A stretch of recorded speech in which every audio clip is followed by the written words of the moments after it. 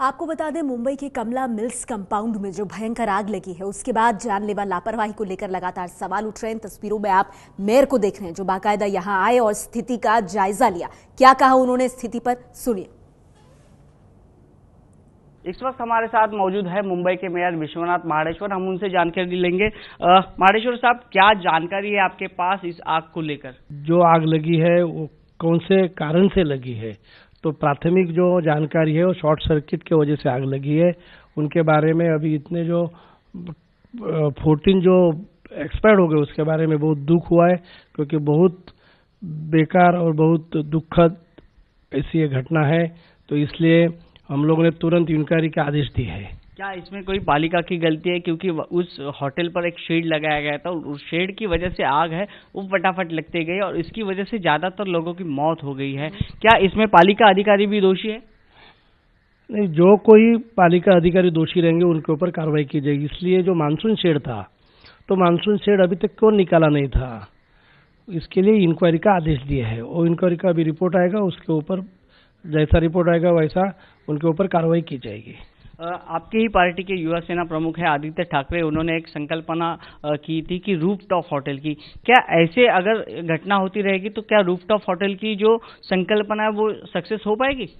नहीं roof top और कल की जो आग है, उनका वो गलत कर रहे लोग। रूफ टॉप की जो संकल्पना है, वो उनके वजह से आग नहीं लगी है। आग जो लगी है, वो शॉर्ट सर्किट की वजह से लगी है। और रूफ टॉप चलाने के लिए जो बीएमसी के जो कानूनी तौर पे जो परमिशन लेनी चाहिए वो तो लेनी ही चाहिए। इसलिए आदित्य साहब का कहना ऐसा नहीं कि अनऑथोराइज रूपटॉप चालू करो। जो हमारे युवा सेना प्रमुख आदित्य साहब ठाकरे जी का कहना है जो लोगों को रात के टाइम में जो मुंबई शहर में जो नौकरी करने वाले हैं, मुंबई शहर में जो टूरिस्ट के लिए आने वाले हैं, उनको खाना तो मिलना चाहिए, क्योंकि मुंबई में कोई सोता नहीं है। मुंबई में पूरा रात दिन काम करने वाले, यहाँ कामगार है, उनको खाना मिलना चाहिए। इसलिए वो, लेकिन रूप टॉप के वजह से आग गए रूप टॉप चालू करने के पहले उधर जो नॉर्म्स है फायर ब्रिगेड का नॉर्म्स होने दो बीएमसी का परमिशन का जो जो रहेंगे, वो सब कानूनी तहत वो जो होटल वाला है, उन्होंने वो सब कानून उसका पालन करना चाहिए अभी अभी जो घटना हुई उस होटल मालिक ने आपके जब भी कानून का पालन किया था या नहीं किया था अगर नहीं किया होगा तो उन पर कार्रवाई होगी कि नहीं होगी? तो इसलिए पालन किया है नहीं किया इसके लिए इसके लिए हम लोग ने इंक्वायरी बिठाई है इंक्वायरी में उनका रिपोर्ट आएगा और जो कोई दोषी अधिकारी रहेंगे उनके ऊपर कार्रवाई की जाएगी। तो ये थे मुंबई के मेयर ये साफ़ तौर पर कह रहे हैं कि जो आग की घटना घटी है उसमें जो जो अधिकारी दोषी रहेंगे उन पर कार्रवाई की जाएगी। साथ ही साथ पर इस पर एक समिति बिठाई गई है और इस समिति का अहवाल आने के बाद जो दोषी अधिकारी है या होटल मालिक है उन पर कड़ी से कड़ी सजा हो जाए ऐसी कार्रवाई की जाएगी। कैमरा पर्सन अरविंद बार्गे के साथ वैभव परब एबीपी न्यूज़ मुंबई।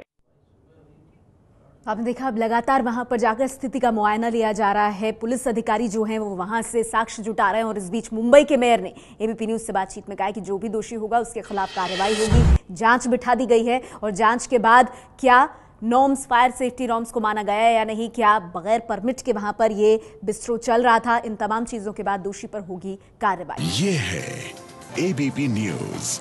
आपको रखे आगे।